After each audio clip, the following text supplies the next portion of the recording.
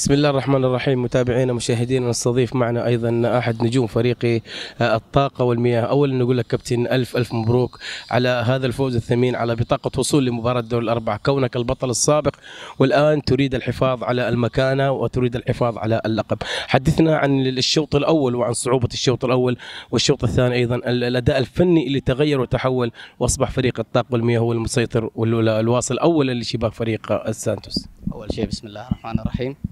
ثاني شيء مبروك لنا الفوز وهارد لك الخصم. آه، مجريات المباراة الشوط الأول ما لعبنا كورة نظيفة الصراحة. الشوط الثاني عدلنا وغيرنا ولعبنا كورة نظيفة.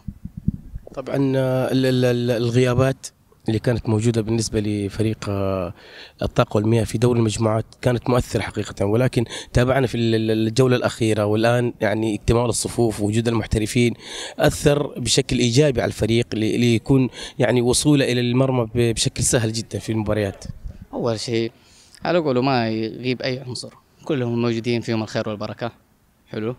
وثاني شيء الموجود بيعطي كل ما عنده.